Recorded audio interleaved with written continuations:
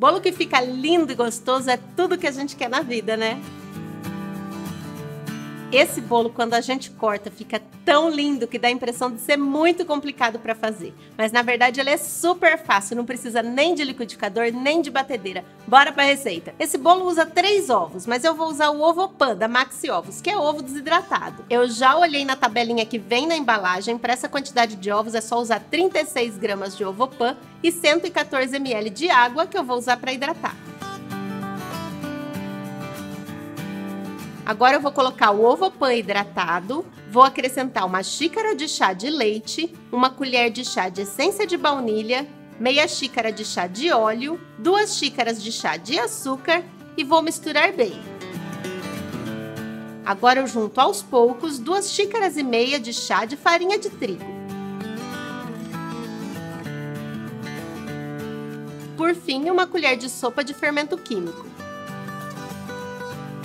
Agora eu divido a massa em duas partes e em uma das partes eu misturo um quarto de xícara de chocolate em pó 100% cacau peneirado.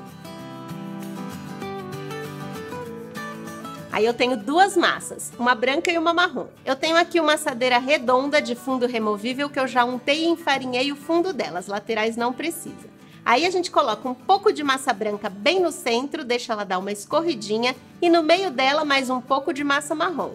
E a gente vai fazendo isso até acabar as duas massas.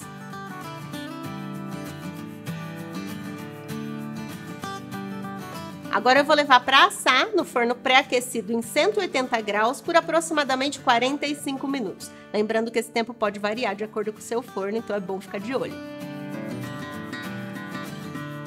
Cobertura nada mais é do que brigadeiro mole. A única diferença é que depois que eu tiro ele do fogo, eu coloco uma colher de sopa de creme de leite para ele ficar mais cremoso. E aí eu deixo esfriar para espalhar na superfície.